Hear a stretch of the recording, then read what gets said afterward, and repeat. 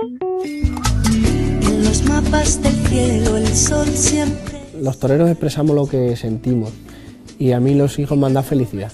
la lluvia no pueden velar tanto brillo. Yo conocí a Julián y no sabía que era Julián el día que me presentaron. Era... ¿Ah, no? No. Y de repente aparecemos, vemos pues toros ahí colgados en la pared y le dije yo a mi, a mi ara suegra, eh, oye, pero ¿qué sois ganaderos? Y me dice, ¿cómo que ganaderos? Mi hijo es torero. Y yo, bueno, creo que tenemos que ir, váyame tú de la pata, vamos de aquí corriendo. Madre, mm, yo la considero de otro mundo. Te veo feliz, Cristina. Me he considerado totalmente un esclavo de, de mi situación, de mi profesión, de mi nombre. no los mandas tú, no los mandas tú. Quiero que me beses y a media decirte que te amo. Y háblame bajito, que nadie se entere lo que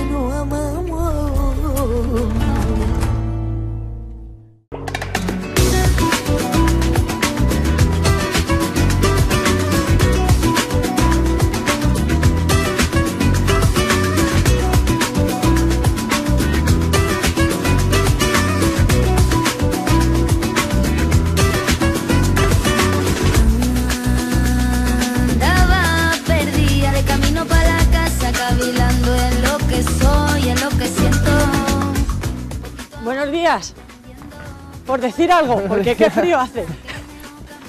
¿Qué tal, Julián? Fresquito. ¿Cómo estás? Muy bien, ¿tú? Fenomenal. ¿Qué estáis? ¿Ya liados con los caballos o qué? frío. Sí, sí, vamos a mover los toros o algo.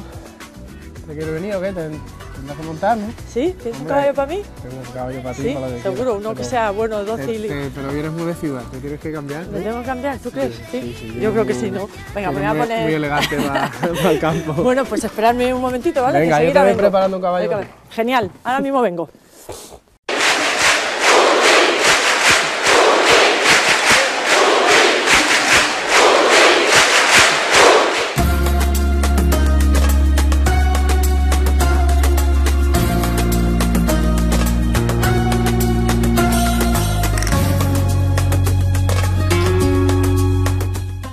Aún lo recuerdo siendo un niño. Compartíamos entrenamientos y aprendizaje en la Escuela Taurina de Madrid, pero aquellas clases él ya se las sabía. Fue un niño prodigio del toreo y hoy es un prodigio de hombre que lo ha conseguido todo en su profesión. El Juli dice que ahora es más niño que cuando toreaba por medio mundo con 15 años. Entonces era un fenómeno de masas. Hoy vive tranquilo y pasa largas temporadas en su finca de Extremadura. No piensa en la retirada y desea que ninguno de sus tres hijos sea torero. Hoy nos metemos hasta la cocina de un número uno, el Juli. Pero ahora es cuando quiero que me dejes que te mire y que te beses. si es que- ¿Lo bajamos aquí o qué? Lo bajamos aquí mismo, ¿no? Después de dar una vueltita por el campo.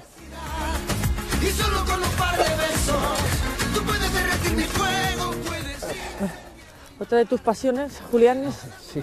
es el caballo, ¿no? Yo soy un loco de la, vamos, quitando los toros, sin duda alguna mi gran, mi gran pasión.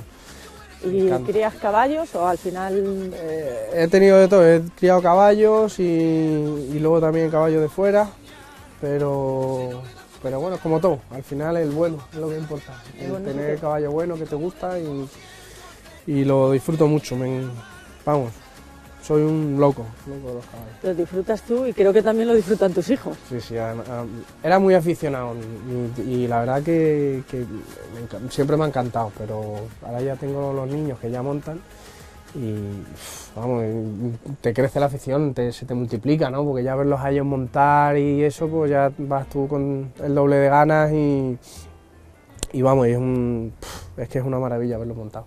Y aunque tú me deseas en el abandono, y aunque tú has muerto mis ilusiones.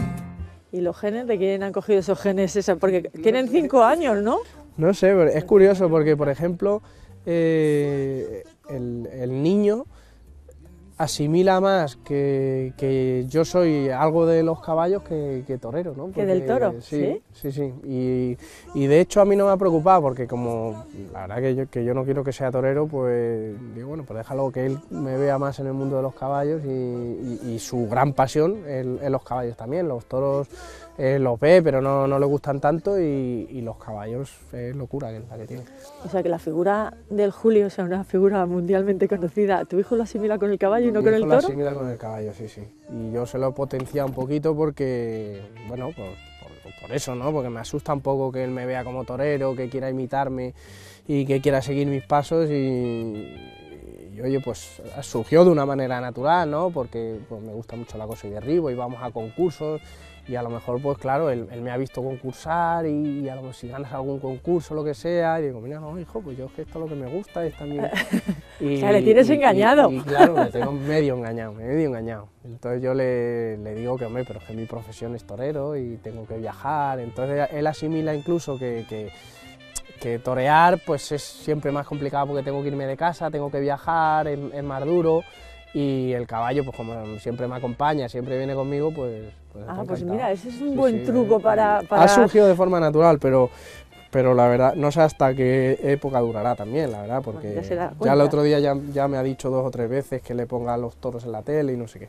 Ya me está asustando un poquito, pero... ¿Sí? ¿Te acompañan? ¿Te acompañan A los, los toros niños no, a- yo a los toros no- nunca los he llevado a, a verme torear. Han ido a alguna novillada que he lidiado y eso sí van, pero, pero no, en general no. Pero ya sí veo que tiene cierta inquietud con, con los toros en la televisión y eso. Y aquí verme torear, pues siempre. Eso sí, me han visto desde, sí, desde pequeño.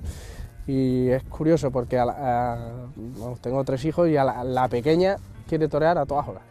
Le Esa encanta me la- esa me la mandas esa a te lo mí. voy a mandar a ti para que, Me la que mandas a mí. Sí, me la mandas a mí. Pero tiene eso sí que prometí. O sea que la niña le gusta La y... coge- pequeña, mm, vamos, cada vez que sale una vaca, un toro, quiere torear y que quiere torear y que quiere torear. Bueno, hija, ¿cómo vas a torear? ay, que chica, ¿no? Con tres años, sí, sí. Oye, le encanta, qué- le encanta. La vida es bella para este corazón de primavera.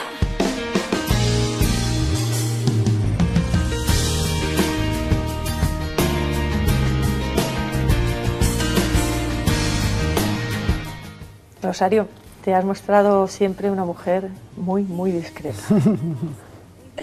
Hola Cristina.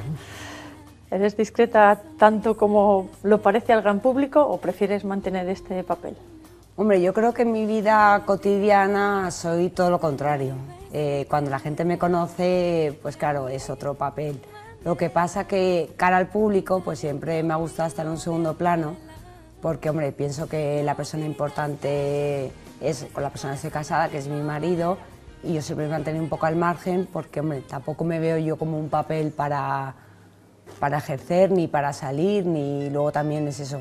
Cara al público soy muy discreta y luego personalmente yo creo que soy una persona muy espontánea, divertida, muy animada y soy todo lo contrario a lo que a lo mejor la gente piensa que soy una persona muy seria muy callada, porque siempre me dicen que en las fotos siempre salgo como muy seria, que nunca sonrío, pero lo que no ven es que es como una timidez y un miedo a la, a la cámara, digamos.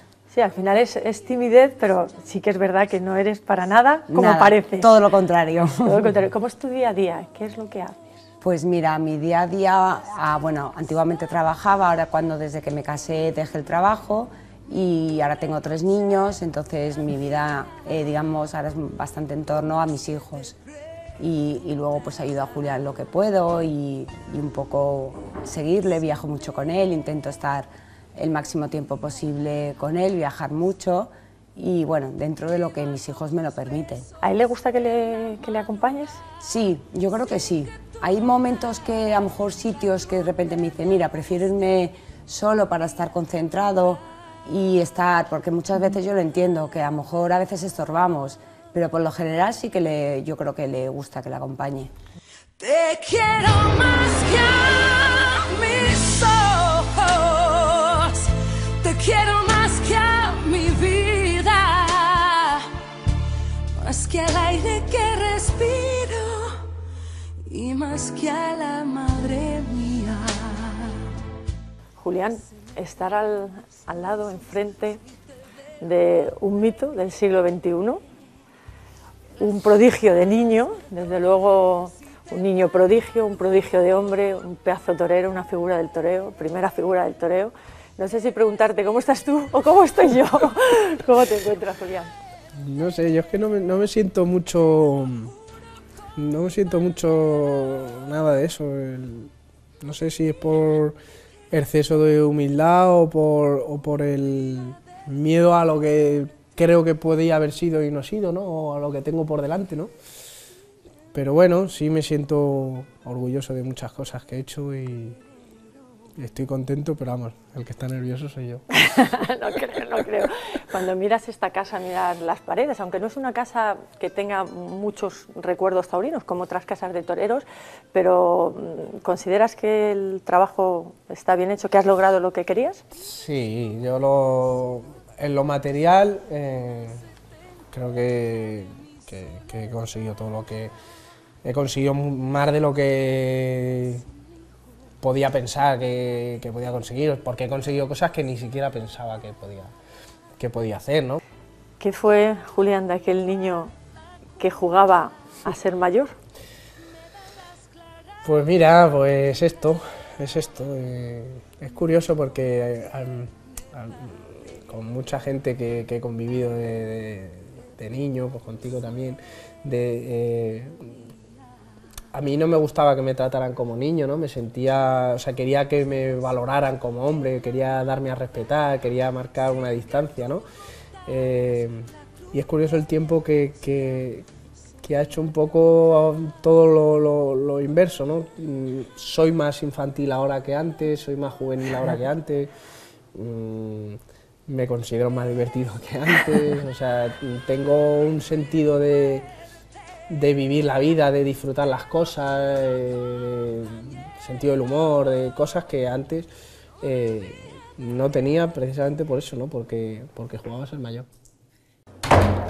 Bueno, Manoli, vaya la que lió una de Villamuelas, la que lió con ese figurón del toreo. ¿Cómo es Julián? ¿Has visto? Pues Julián es como persona, que es de lo que te voy a hablar. Con Torero no te tengo que decir nada, pero como persona maravilloso. Maravilloso y además cuanto mayor es, ya que va teniendo con sus hijos y todo, mejor todavía. Estoy encantada con él. ¿Sí? ¿Y ¿Qué, qué, qué pensabas cuando él dijo que quería ser torero con, tan, tan chiquitito? ¿Lo verías como, como una locura? Pues sí, es que tampoco le di tanta importancia. Yo, pues, como otra madre que dice a un niño quiero ir a tenis o quiero... eh, la afición tú sabes que le viene por su padre. Bueno, por todos. La casa la verdad es que es más taurina que Sí, futbolera. porque en tu casa también había afición, ¿no? Sí, sí, sí, sí, mis hermanos y mi padre daban muchos toros por allí, por la provincia de Toledo, por mi pueblo, por Villamuelas, mm, Villanueva de Bogas, o sea, varios pueblos. Y ahí le conocí yo a, a Julián Padre. Julián Padre. Claro, Ahí claro, dio mi padre una, una novillada en Villanueva de Bogas y allí fue donde yo le conocí. Luego, mira, Y luego, pues fíjate, el, Lo que hemos llegado, el ¿no? pedazo torero que ha dado que ha dado la historia. Bueno, y realmente él de pequeño era un niño eh, muy inquieto, era un niño Sí, sí, sí, introvertido, sí, era un niño... No, ¿Cómo no, era no. Julián cuando...? Él siempre ha sido un niño muy, muy inquieto. Él ya la guardería en la cartera ya llevaba, en lugar de, de un libro o un cuaderno, llevaba la muletita. Ah, sí, ya- sí, sí, sí, ya sí, sí. apuntaba, ya apuntaba. Lo que pasa es que también lo cogía a rachas, ¿no? Sí. Entonces era muy pequeñito. Cuando ya verdaderamente hizo la comunión fue cuando pidió él ir a la escuela. Y incluso ahí tenía nueve años, pues tampoco es para tomártelo en serio. Luego ya a raíz de ahí era lo que te iba diciendo el maestro Gregorio, que tú bien conoces, Sí, sí, sí. y eran los que te iban diciendo, pues bueno, pues que merecía la pena de, de- de que le pusiera la atención a este niño. Y entonces lo hemos ido viviendo día a día. Tampoco te puedo decir de la noche a la mañana una cosa, pues día a día y aprendiendo de la profesión con él. Entonces, ¿Cómo, cómo ha cambiado, cómo cambió vuestras vidas en aquel momento cuando Julián, es que fue una eclosión, la verdad que fue, en, en muy poco tiempo se convirtió en, en un- en ese niño prodigio que todos veíamos, pero que le conocía a todo el mundo, así era. en mi vida concretamente cambió cuando, cuando se fueron a México.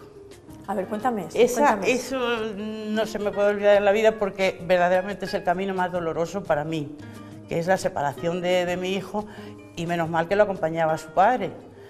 Pero con 14 años el irse a México, eh, partirse la familia en dos, eso, eso fue muy doloroso.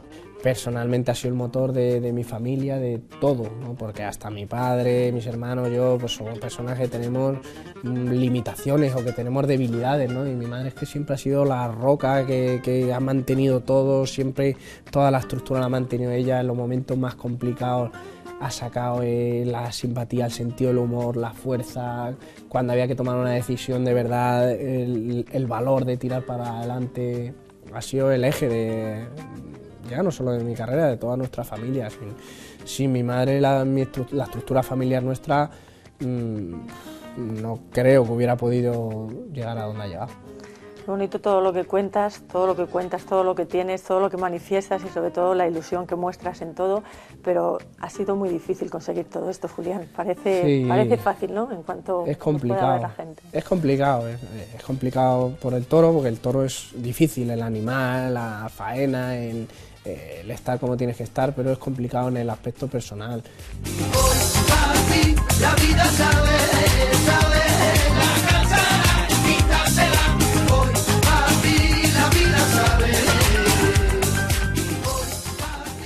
Ser torero es una profesión muy compleja, tienes que pasar por, por una serie de cosas que no te las planteas cuando empiezas, ¿no? Eh, dices, bueno, es que yo quiero ser figura del toro, quiero ser el mejor, quiero ser el número uno, quiero ser el que más gane. Mira, fenomenal, lo vas a ser.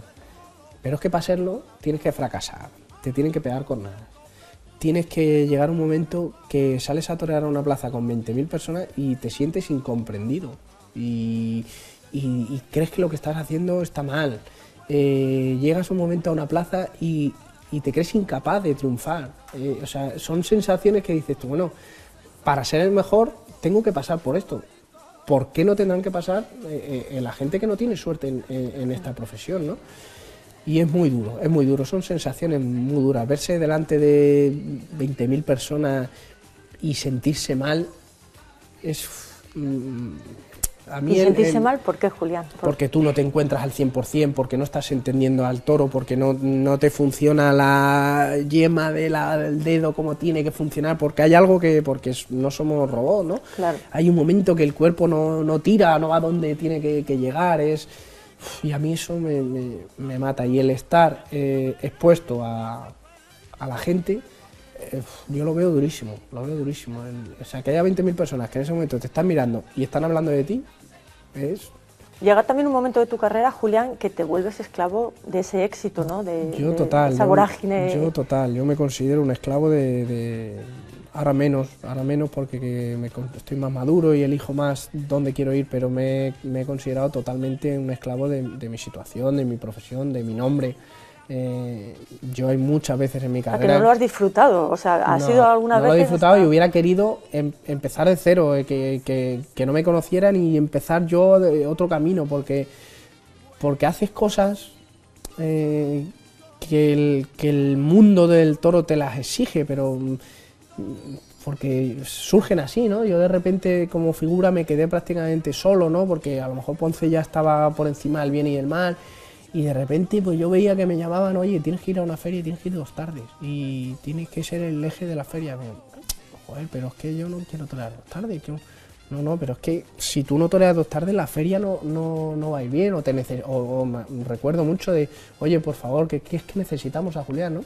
De lo primero que pides cuando rezas es que no le pase nada, pero a la vez pido si puede ser que salgan las Que cosas salgan. bien, porque además debido a- al carácter de él, a, la, a cómo es él, De exigente consigo exacto, mismo. ¿eh? entonces él es muy exigente consigo mismo, porque bueno, pues yo creo que, yo pensaba que al llevar más tanto tiempo, incluso nuestros compañeros, bueno, pues un día no salen las cosas, no salen, pero eh, mi hijo cuando no salen las cosas no hay quien lo soporte Tiene mucho amor propio, ¿no? tiene mucho amor propio y entonces pues para verle lo que quiero es verle feliz y contento y entonces pues esto primero que no le pase nada pero si puede ser que salgan las cosas ¿Cómo se educa a un hijo que es ídolo de masas con, con 13 años, con 12 años? ¿Qué, Pues- ¿Qué se le dice para que no...? mira eh, eh, tengo que dar gracias de cómo es él porque es verdad que pasa mucho miedo con esto porque él con 14 años 13 años prácticamente tenía todo Entonces, yo que vienes de una familia normal, trabajadora, pues eh, pensaba que, que- que se me iba a poner tonto, ¿verdad? Sí, o, o que... que- la familia se le quedara pequeña o algo así. Y entonces, por su forma de ser, eh, he tenido esa suerte de que no lo he pasado tan mal, porque lógicamente a, a un torero, si tú vas a torear por la tarde, tú tienes algo que decirle, yo por la mañana todo está bien, todo está perfecto, que no tienes todos los momentos ni todos los días que quieres para poderle hablar claro, para poderle decir las cosas, Claro. entonces te miras mucho, si torea, pues lo, lo principal es que esté tranquilo, que no tenga ninguna preocupación. Entonces tú a lo mejor tienes algo que decirle, oye, porque la adolescencia es la adolescencia. Y entonces te lo vas guardando, te lo vas guardando. Y si algún día ya me he puesto a decir, bueno, pues ahora vamos a hablar, me ha ido por delante, sabía él lo que yo Lo le iba a decir. decir, Y entonces, es muy listo. gracias a Dios lo he tenido muy fácil y mucha suerte de que, de que él es como es, porque también ahora ya que es mayor, tiene sus niños, está casado. Y hija, yo estoy, tengo la misma, eh, las- lo mismo que, que tenía cuando era soltero, muy, muy ligados, muy entendiéndonos, aunque no hablemos todos los días, pero él sabe que yo estoy ahí, yo aunque no me llame todos los días entiendo de la vida que tiene, de que tiene viajes para acá, para allá, pero bueno, siempre estamos en conexión. Entonces estoy muy contenta. Te veo una mujer como muy de ciudad y te veo aquí en el campo. Al final, eh, Hombre, comparto la vi- mi vida entre el campo y la ciudad. La verdad que si a lo mejor viviese todo el tiempo en el campo sería a lo mejor un poco más complicado para mí. Pero con la verdad, como tengo ese com- compagino ciudad y campo y me muevo mucho, pues la verdad que lo llevo bien. y mm, tienes un apellido, Domecq, que bueno, en el mundo del toro es muy, muy Sí, conocido, sí. pero no sé si tu rama es Nada taurina o no tiene nada. nada- Mi abuelo eh, era un fanático de los calles de enganche, se- que tenía pues un, un- bueno, coches de, de caballos y, y luego se acaba eh, su afición loca tanto de mi abuelo como de mi padre el polo. Eh, le gustaban los toros, tenía su abono, pero nunca nos han inculcado ir a los toros desde pequeños ni nada. ¿sabes? Hemos, hemos sido la rama un poco Sí, distinta. ¿no? oveja negra, como se dice. No, no, no, Nada para ver. nada. Lo que Pero pasa bueno, que, bueno, en otra sí, mis línea. padres siempre han gustado los toros, pero que no ha sido una afición vivida desde casa, ni aprendida, ni nada. Sí, que no tenéis ganadería y habéis vivido en el campo. Nada, de hecho como- yo, no, yo conocí a Julián y no sabía que era Julián el día que me presentaron. Era, ¿Ah, no? No. O sea, yo de repente llegué un día a su casa, eh, teníamos un amigo en común que me dice, oye, tenemos que darle un perro a un amigo mío a acompañarme. Y fui con una amiga mía belga que estudiaba conmigo la carrera y de repente aparecemos, vemos pues toros ahí colgados en la pared y le dije yo a mi, a mi ahora suegra, eh, oye, pero ¿qué sois ganaderos? Y me dice, ¿cómo que ganaderos? Mi hijo es torero. Y yo, bueno, creo que tenemos que ir, váyame tú de la pata, vamos de aquí corriendo. Ah, Esos fueron los principios. Eso fue mi entrada en, en su casa. Sí, y luego, ¿cómo, ¿cómo seguir la relación? Porque si no tienes Pues nada que por ver- amigos en común coincidimos en la feria de Sevilla. Yo, bueno, yo al ser, eh, eh, vi- bueno, mis padres vivían, viven en Jerez, aunque son los dos de Madrid, y entonces pues coincidí con en la feria de Sevilla, la feria de Jerez, y por amistades empezamos a vernos más. Y fue así un poco, nos fuimos viendo, viendo, viendo, hasta que empezamos luego a salir. Muy bien. ¿Y fue difícil? Un poco al principio, un poco complicado. ¿Por qué? Porque, a ver. Hombre, porque yo al final, eh, eh, al final era un mundo totalmente desconocido Ajeno. para mí, con nada de buena fama. Yo era, era, estaba totalmente al margen, ni mi vida, ni mis amigos, no tenían nada que ver con ese mundo. Al principio mis padres, hombre, yo ahora les entiendo, que al final yo era un poco mayor que él, él estaba, cuando yo empecé a salir con él, pues ya estaba como en su boom, y claro, para ellos era como, mira, este chico va a salir contigo cinco meses, te va a dejar y tú te vas a quedar como marcada para el resto de la vida de... O sea, que no lo vieron bien, fíjate, nada, claro. sí, pero por- bueno, por- no, por- no porque la gente, Sí, por lo que la gente ha dicho, sino más bien porque ellos tenían el miedo de que esto a lo mejor luego saliese, digamos, a la, a la luz pública y que luego yo, digamos, eh, me, lo- me dejara o pasara cualquier Te cosa. daño de alguna Hombre, y manera, era lo más lógico, pero éramos muy pequeños los dos. Eh, al final, lo más lógico es que no hubiéramos seguido juntos. Que ahora lo pienso y digo, mira, pues tenían su parte de razón. Sí. Y luego cuando vieron que la cosa iba en serio y que tal, pues mira, no hubo ningún problema y ahora mismo la adoran y bueno, están, le, le hacen mucho más caso a él que a mí casi.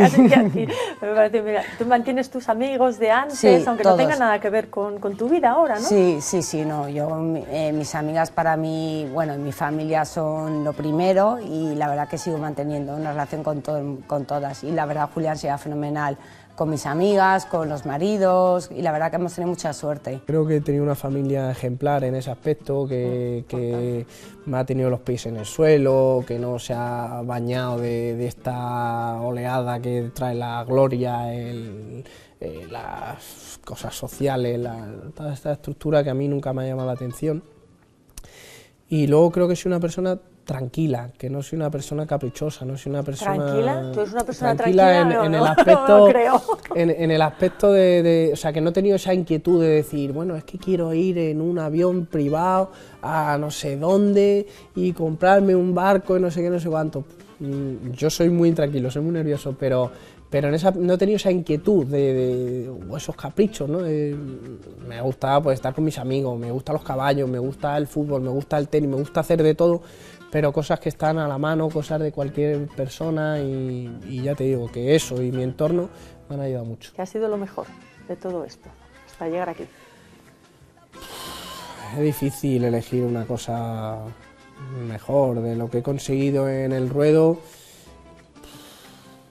Quizá Madrid, el, el toro aquel cantapájaro de Vitoriano del Río ha sido lo mejor porque va mucho más allá de pegarle 40 pases buenos a un toro, ¿no? Ese toro me dio a mí mm, seguridad, me dio felicidad, me dio plenitud.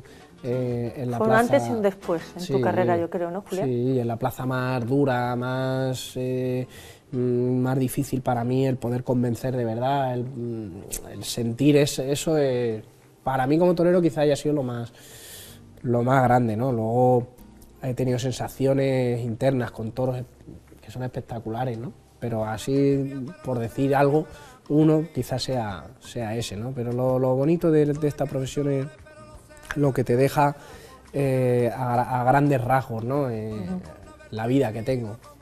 Esa me la da mi profesión. En lo Yo- personal, lo unes lo personal y lo...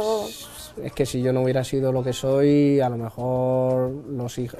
es muy fuerte, pero los hijos que tengo es que a lo mejor no los tenía. Es que a lo mejor mm, serían distintos, o estaría con otra persona, o viviría en otro sitio, o...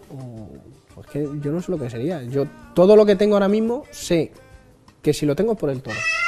Ana, mira, ¿quién Bueno. viene? Hola.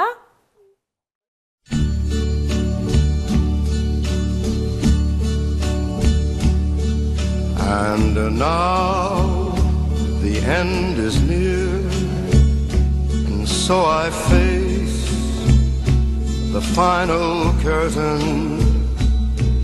My friend, I'll say it clear, I'll state my case, of which Como ves a Julián ahora en su nueva etapa, vemos aquí a, a Rosario, muy jovencita, la mujer de Julián. ¿Cómo le ves como padre y como esposo? Le veo feliz, Cristina. bueno. Le veo, le veo muy feliz. Está eh, con sus hijos. mm, Te decía antes de, de, bueno, pues hasta ahora la suerte de, de Rosario, de que, de que lo lleven muy bien. Y entonces es lo único que me fijo, de, que, de que está feliz. Luego Rosario es muy buena, yo le tengo mucho cariño porque no es fácil ser la mujer de un torero. siempre se dice que la madre, la madre, eh, a ver, la madre lo que quiere es que no le pase nada, pero luego, tú- a mí yo me acuerdo cuando era jovencito, me llamaban, pues, ya ha salido todo bien y tal, y yo, hijo mío, diviértete, y para acá, y, pa-". y una mujer y joven comprenderás que entonces la soledad, que se tiene mucha soledad, la mujer de un torero. Entonces, eh, Rosario lo está llevando bastante bien y, y yo mientras les vea a ellos felices, pues encantada de la vida. Nosotros, o sea, lo- los padres, lo que es la familia, lo que te decía, vienes desde el primer día que él empieza a querer ser torero, lo vas viviendo con él día a día y vas aprendiendo lo que es este mundo y lo vas aprendiendo con él. Incluso mm, casi te vas guiando porque eres lo que él, lo que a él le gusta. Él, él, por ejemplo, si no le gusta mucho, pues el salir y tal y cual, pues tú haces igual. Si el importante aquí para en nuestra familia es él, que es el que se juega la vida y es el que torea. Entonces, si él es discreto, pues tú tienes que ser discreto. Entonces no se puede ser más papista que el Papa y, y- y eso te va guiando. Pero una mujer, me da igual Rosario, que, que- que una mujer que viene de nuevas a este mundo, que no, no, no sabe nada, entonces es, es un choque grandísimo. Y si tú ves que se- eso va bien, ella totalmente estoy en- eh, cuando Juli torea estamos totalmente conect- conectadas las dos, la que primero sabe se llama la otra, pues eso es lo que lo agradezco enormemente. No es como si yo la llamara, bueno, y estuviera por ahí y tal y cual. Do- pero te estamos dolería, con. te Hombre, dolerías mucho, claro. eh, no sé si la diría o no, porque tienes que ser prudente, pero no es el caso. Estamos totalmente conectadas las dos. La que, ella igual tiene alguna amiga en la plaza, lo que sea. Me- no te preocupes, Manoli, que hoy vamos a saber pronto, porque está. Yo que estoy bicheando por internet, eh, siempre me gusta saber, llamo al al conductor, al bomba, que es de Villamuelas precisamente, y además eh, con este estoy encantada porque me dicen cómo es el toro, ya, ya va siguiendo la corrida de otra manera, y todo eso estoy conectada con, directamente con Rosario. Entonces para mí eso es un orgullo. ¿Qué es lo que le da miedo al Juli? Porque claro, el Juli parece como un superhombre. ¿Qué, qué es lo...? ¿Le da algo miedo? Y le pones una inyección y chilla. vamos, que sí. Las agujas, No, da miedo. Esto yo no lo sé, tú lo sabes mejor que yo lo que es el valor del torero, yo no lo sé, pero es un valor totalmente distinto a... Y bueno, cuando verdaderamente, que también eso no pasa a cualquiera, cuando peor le he visto de todo, de todo, fue cuando ha pasado algo, un accidente que tuvo con el coche, que iban los niños, no le he visto en mi vida peor, de verdad, ni con una cornada en la enfermería le he visto así. Entonces, esos son de- ya de personas normales. Luego, las, perso- las cosas que hacéis como torero, pues sois vosotros los que Somos lo personas sabéis. normales y anormales, ¿no? según en qué, según en qué caso, ¿no? Sí, claro. sí, Eh, sí. Nos ha contado también esa anécdota, Julián. ¿Y con, fue. y con qué es con lo que más se divierte, aparte del toro? Si con sus que hay- amigos. Es muy de amigos. Y, y- y- y además, eh, otra cosa buena que tiene es que casi siempre le gusta en su casa, o sea, en su casa o en la casa de... Sí. Pero con sus amigos. Julio es muy de amigos, muy de amigos. Eso lo habrá aprendido de la madre, la conexión familiar, ¿no? Y un restaurante, y nos gusta un restaurante. Os gusta mucho un restaurante también, ¿no? Bueno, y Sí, sois, sí, la sí, familia- sois de artistas todos y además, bueno, es que solo con el semblante que tienes y con la alegría que, que despiertas en todo, No, no, tengo algún artista que otro, pero yo no. Mira, al final dejar, eh, pues dejas una vida, entre comillas, porque al final yo no he dejado nada, yo lo he elegido. ¿sabes? A mí nadie me ha puesto una pistola y yo sabía perfectamente, siempre soy consciente luego con quién salía. Y sabía perfectamente si seguía con él lo que me iba a conllevar y a, y a dónde iba a ir. ¿Sabes? A mí nadie me ha engañado de, ay, ¿por qué pasamos temporadas en el campo si yo quiero vivir en la ciudad? No, yo sabía que a, mí, a Julián le encantaba el campo, eh, que era su vida y, y yo, sé, y yo sabía lo que, lo que iba, de- entre comillas, a dejar ¿te ha atrás. compensado todo hasta el día Sí, de hoy? sí. Y si el día de mañana por cualquier cosa eh, al final eh, pasa lo que, bueno, espero que nunca pase, pero siempre me habrá compensado porque he hecho lo que he querido. A mí nadie, como te he repetido antes, nadie me ha puesto una pistola y me ha dicho cásate o no te cases, ¿sabes? Al final es una cosa que he elegido yo, para bien o para mal. ¿Cómo es Julián? ¿Cómo es Julián con vosotros, con los niños, la intimidad? Pues Julián es una persona hiper cariñosa. Yo soy mucho más, a lo mejor por la educación, mucho más parca, no demuestro tanto mis sentimientos.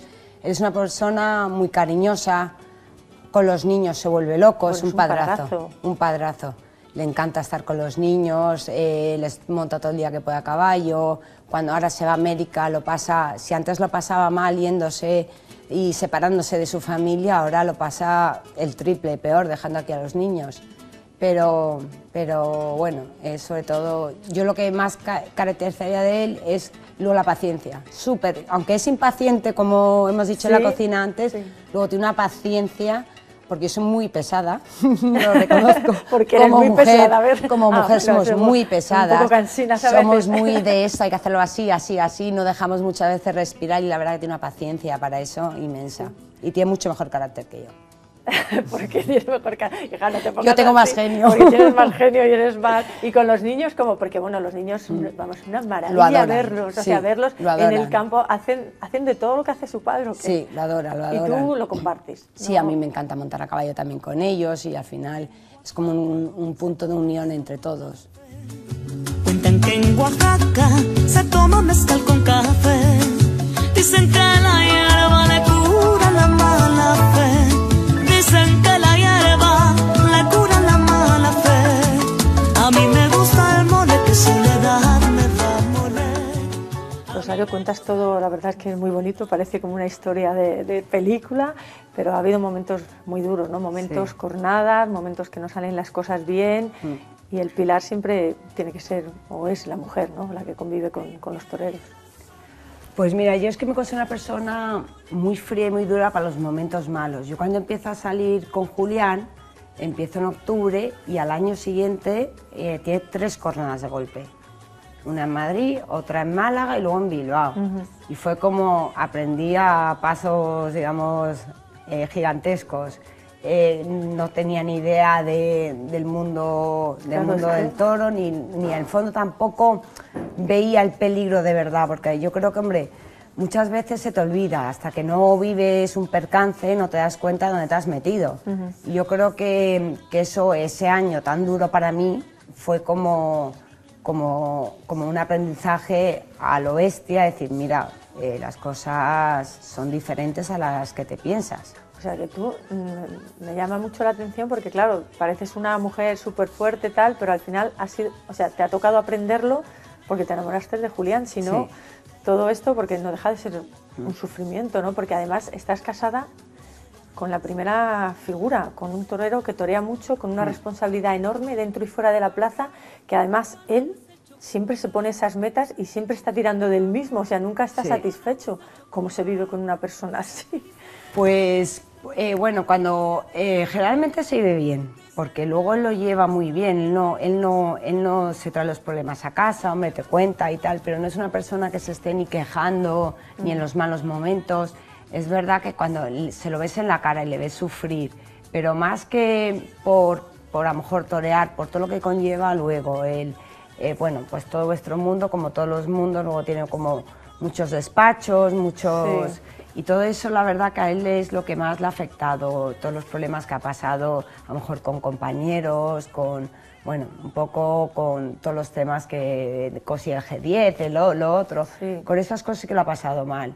Y luego, claro, tú le ves y siempre intenta, siempre las cosas que han hecho, tanto él como me imagino todos, lo han hecho como a favor de la fiesta, nunca lo han hecho en su beneficio.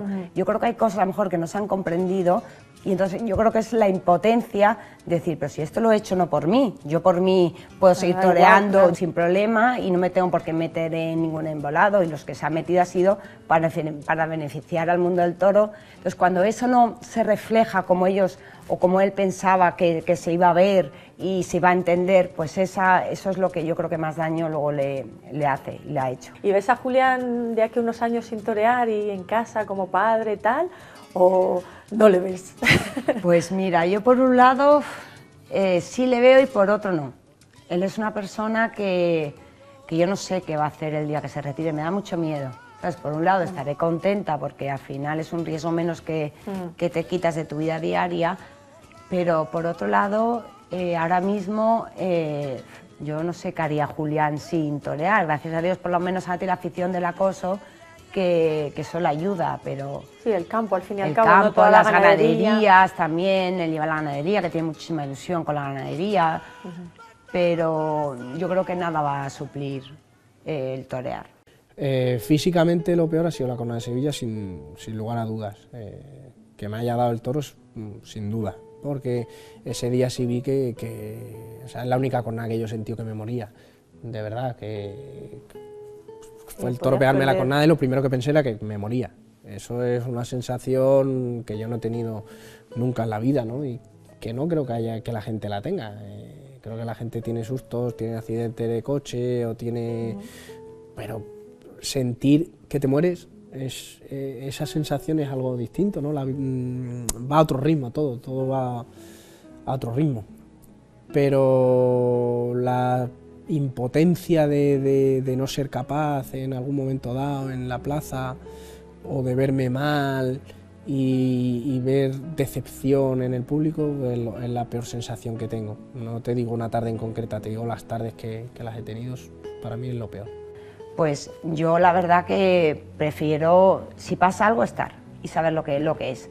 Porque en- hasta que tú no ves Sí. y no estás, Te no lo sabes, cuentan. te lo cuentan y no sabes lo que te están contando.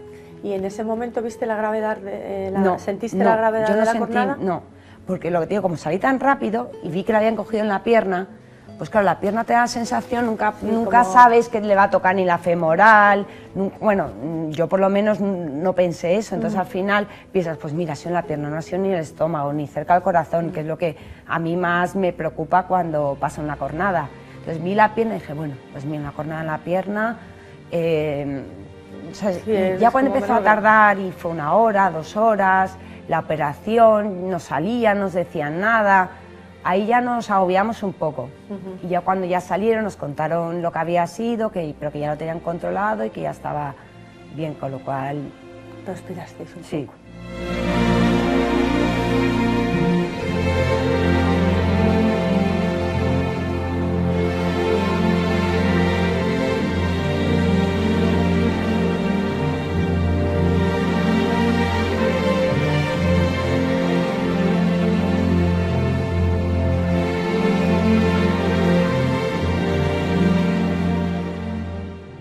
Hablas de la familia, se habla de la familia, de tu padre, de tu madre, incluso de los niños. Un pilar fundamental también es Rosario, tu mujer. Sí, eh, la, eh, la familia, cuando tienes hijos, eh, padres, hermanos, pues siempre hace, hablas la familia en, tono, en un cómputo general, ¿no? Pero evidentemente indu- individualizas y cada uno tiene su, su papel, ¿no? Y es verdad que, que Rosario pues, es una persona que, que de cara a, a- lo social ha estado siempre muy al margen, no, no ha querido intervenir, cosa que además siempre le he respetado y siempre se ha quedado en un segundo plano, pero de puertas para adentro ha tenido un papel fundamental, ¿no? Eh, ha marcado siempre una dureza, una estabilidad, un ritmo de vida eh, que a mí me ayuda mucho. Yo como persona a veces eh, pues mm, tengo altibajos y, y a veces me vengo un poquito abajo, otras veces me vengo demasiado arriba, ¿sabes? Tiene los dos puntos. y, y ella es el contrapunto de que siempre está en el mismo sitio, ¿no? Eh, eso a mí me, me ayuda mucho porque al final pues pegas mil vueltas y sabes que tu sitio está ahí, ¿no? Y luego pues el papel que tiene como madre pues es ejemplar y, y es algo que veo absolutamente mm, fundamental, que valoro, creo que es increíble lo que hace y, y en ese aspecto en el que yo creo que tengo muchas cosas buenas, pero luego pues tengo limitaciones porque viajo, porque tengo una Claro. profesión que es muy esclava, pues es básico el, el que mis hijos tengan ese, ese papel ahí, ese- esa persona, pf, me parece fundamental. Julián, ¿cambió mucho tu vida cuando has tenido niños? Ha cambiado a mejor. Yo creo que lo- los toreros expresamos lo que sentimos y a mí los hijos me han dado felicidad, felicidad. Y cuando sales a una plaza y tienes felicidad dentro, la, la expresas, ¿no? Es como la, Es muy transparente el como la torero, ¿no? risita esa tonta que te entra, ¿no? Y entonces no es lo mismo llegar a una plaza con problemas detrás, con cosas que te preocupan, que estás amargado, que no sé qué, que cuando llegas a una plaza estás feliz, estás contento, eh, te sientes bien. eh, es que se torea de otra manera. eh, ahí no llega la técnica, no llega mm, cosas que vienen de fuera. Ahí es algo que tú expresas, que tú lo sientes y el público es sabio, tremendamente sabio.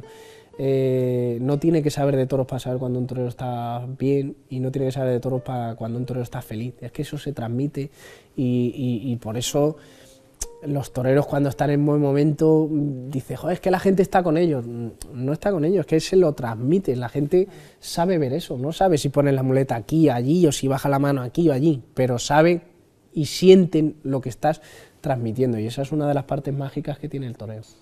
¿Sabes, Julián, que ha sido parte del día más feliz y más bonito de mi vida? El día 20 de agosto. Sí, hombre, yo me, me veo en ti, ¿no? Un poco en ese día, o sea, eh, me imagino pues cuando ya estás retirado, que estás fuera de la profesión eh, y que vuelves a, revivir todas esas sensaciones, todas esas cosas, ¿no? Eh, lo disfruté mucho por ti. Pues sí, la verdad que me gustó mucho y me- se juntó todo, ¿no? Estaban mis hijos, estaban mis amigos, mi familia, el torero al que más admiro, que eres tú, y me hizo mucha ilusión tener la foto Sí. final de mi carrera a hombros contigo. un día...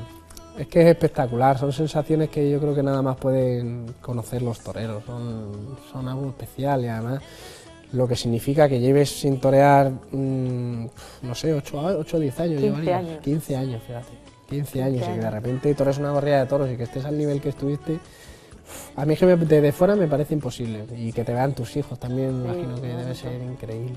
Para mí, la felicidad, ya sé que, fue el día 20, y para ti, ¿qué es la felicidad, Julián?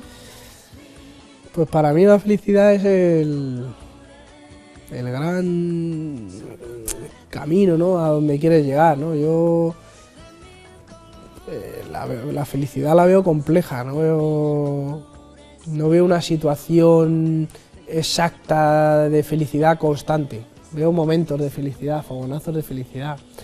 Yo, para mí, pues cuando toreo soy feliz, cuando estoy con mi familia soy feliz, cuando estoy con mis amigos soy feliz, pero luego la vida, la cabeza, eh, las circunstancias siempre también te atormentan un poquito, o sea que, que veo más la felicidad a ráfagas que, que una felicidad mm, esta idílica que vemos que en el cielo eh, vivimos y que todo es bueno, ¿no?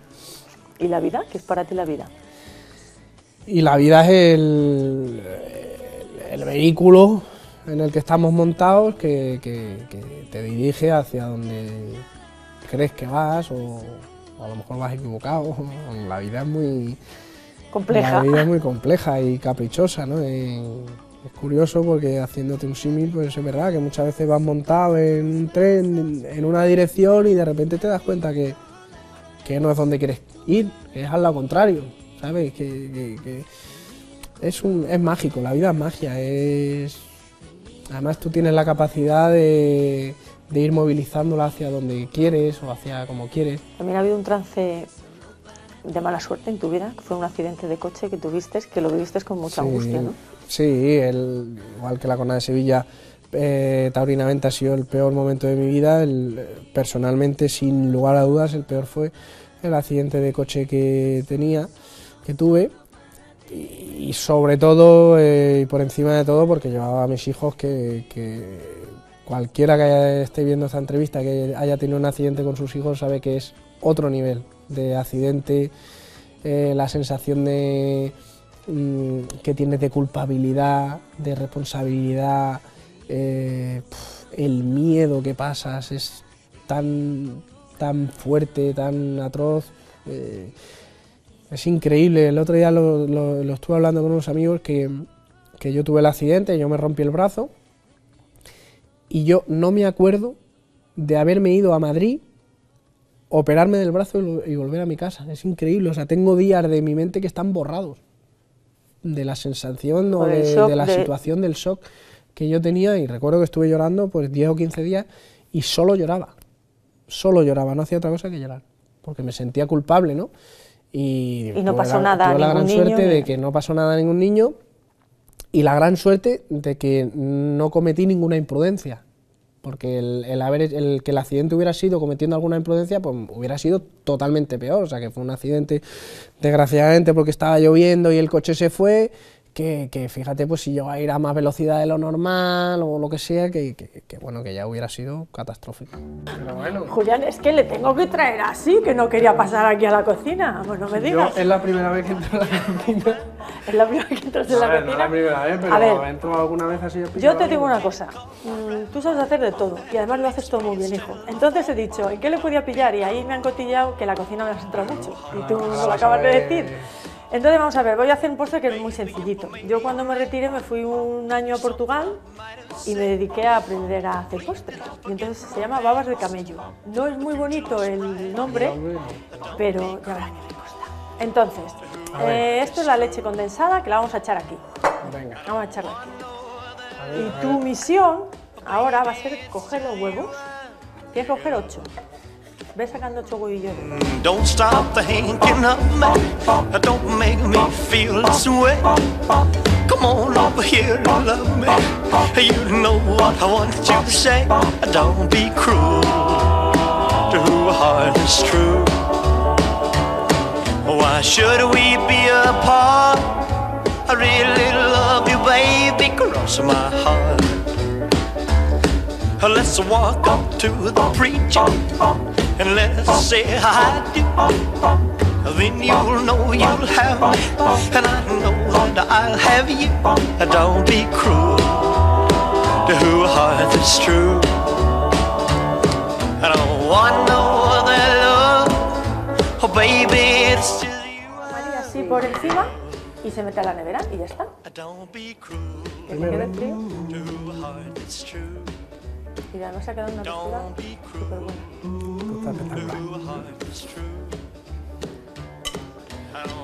Lo he bordado. Aquí está bueno, aquí encima está bueno, es súper sencillo. Espectacular. Muy bueno. Julián, macho.